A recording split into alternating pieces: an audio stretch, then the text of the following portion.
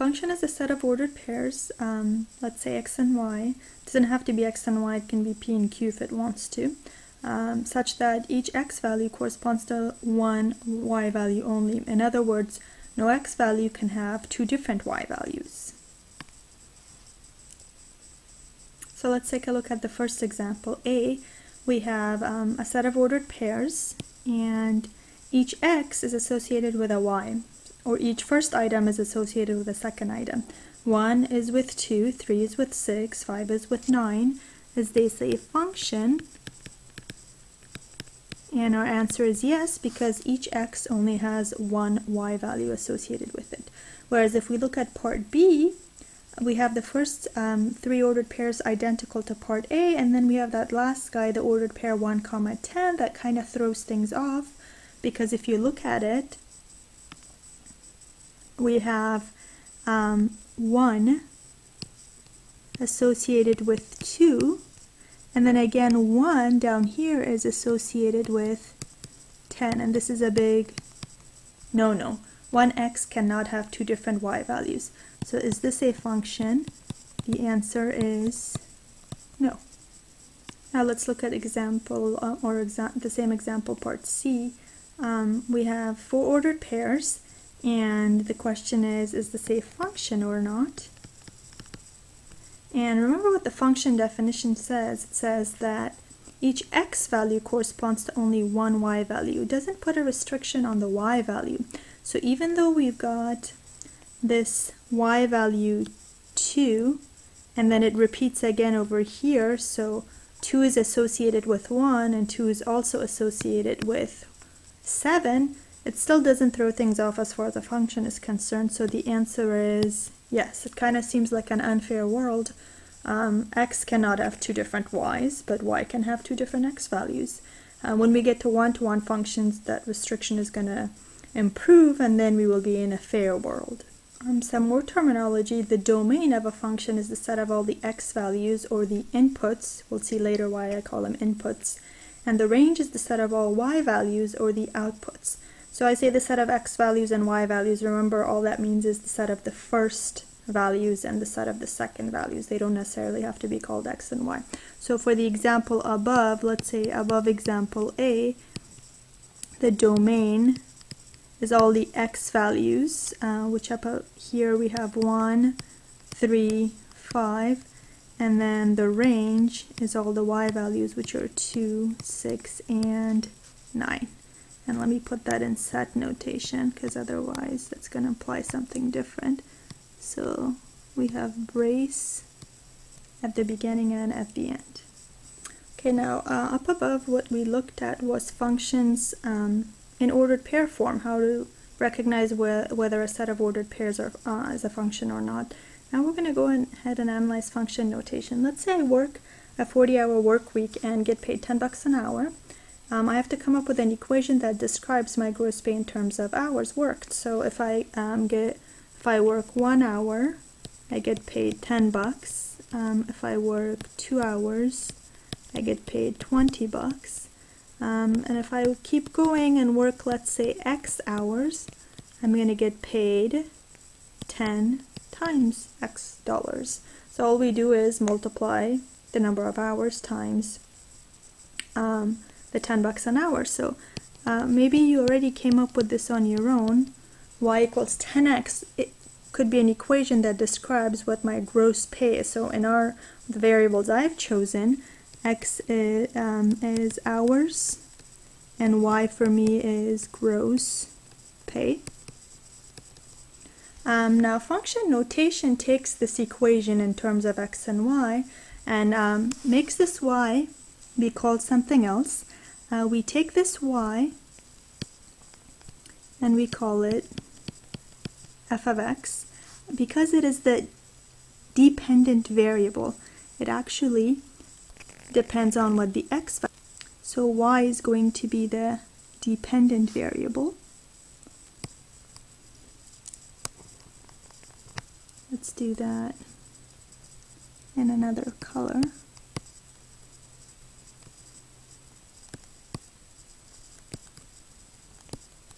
and x is going to be the independent variable.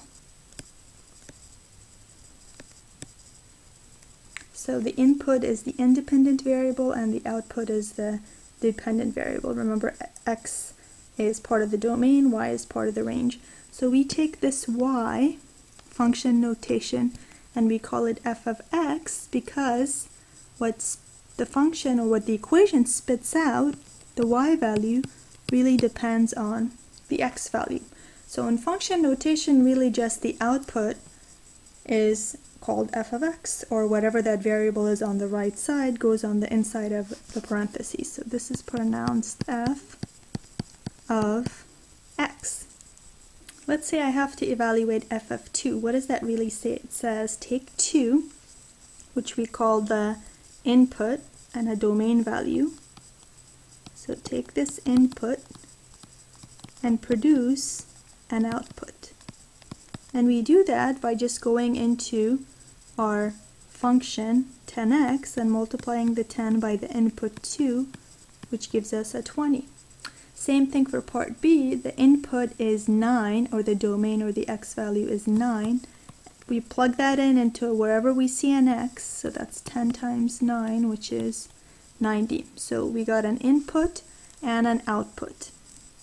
So if we think of um, what we just did here in terms of an ordered pair, the input was the x value and the output was the y value. So this evaluation in part A gave us the ordered pair 220. Similarly, if I look at part B, the input or the x value is 9 and the output or the y value is 90. So I can get a bunch of ordered pairs by evaluating this function f of x equals 10x, where the input is really the hours and the output is the gross pay I get.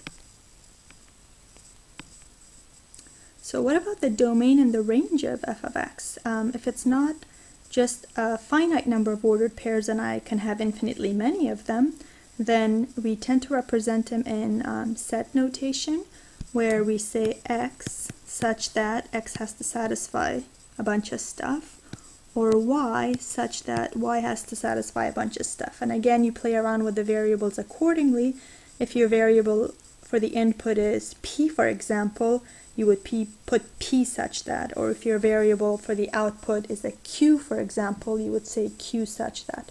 So in this case, since I can work as many as 40 hours a week, which is what the problem said initially, the maximum x value is going to be 40 and the minimum it's possible that I won't work at all that week is 0. So the domain would be anywhere for the x to be from 0 to 40. I could potentially work three and a half hours a week or maybe I'll work like 5.9 hours a week. Um, the range is what the outputs are. Well, if I don't work at all, I don't make any money. And if I work my maximum 40 hours, getting 10 bucks an hour, I would get $400. So the range is the minimum um, gross pay is 0 and the maximum gross pay is 400. Just like we can have functions in ordered pair form and we can have them in an equation form with the function notation f of x, we can also graph functions because after all, we can get a bunch of ordered pairs from an equation and we can go ahead and plot those ordered pairs. So that same problem, f of x equals um, 10x that we did earlier, I plotted a, a, few points for it because I thought, well, I can always spit out some hours and gross pay. I get 10 bucks, I get 20 bucks, I get 30 bucks if I work one hour, two hour, and three hours respectively. And I plotted those ordered pairs on the graph and connected them with what looks like to be a straight line. Um, so I can look at a function graphically as well. And if I just had a, graph of a function to look at, um, I could determine whether it really is a function or not actually any graph I look at by doing what's called the vertical line test. But before I show you the vertical line test, let's just go ahead and analyze um, what I have here on the graph. I have the input, which is an x value of 1 if I look at this one and an x value of 1 goes and gets associated with a y value of 10. So this right here is represented by 1 comma 10. Um, if I have the x value, I can get the y value from the graph, or vice versa. Let's say I'm, I'm right here on the y value of 30. What x value does that correspond to? If I just come down, that's going to correspond to the x value of 3. So from the function, uh, from the graph of a function, I can easily pull out the x and the y coordinates. Um, for example, I can go to this and automatically, without looking at my chart, say, well, from the graph, I have the ordered pair 2 comma 20 um, that comes out. Now, how can we look at the graph of a function um, without much other information and be able to tell whether it is a function or not? Um, if I look at the first one, let's say, let's call this A, B, and C, um, a vertical line test or the vertical line test says a vertical line cannot intersect the graph more than once. So part A is kind of similar like our graph up here with the pay, gross pay, and the hours. And um, if I take any vertical line, let's say this is my pen or pencil, my vertical line, and I take this and I move it across my uh, function from left to right, or my graph from left to right, all the way across the graph it's only touching the red line. All I'm worrying about is the red line. I don't I don't care about the x and the y-axis it's only touching it once never twice. So this is a function if I do the same thing with this guy, all the way across as I go left to right, stays vertical and it's always touching it once, so this too is a function. Now when I come to the circle, if I go through the circle, right here, even in the first instance, the graph touches it twice and it is not a function. That basically says that for this x value right here, let's go look at a different color. For this x value, let's say right here, whatever that x value is, I have two y values. I have this y value down here, which I don't know, could be negative 1 or whatever, and also this y value, which I don't know, maybe 10 or something. So having two y values for the same x value, remember, is not allowed, and that's why it's not a function. Okay, from the graph, we're going to go find um, f of 2. So this is the input,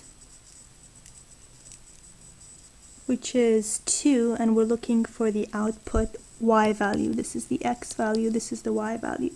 So if I go stand at 2, my graph is going to hit a y value of 3.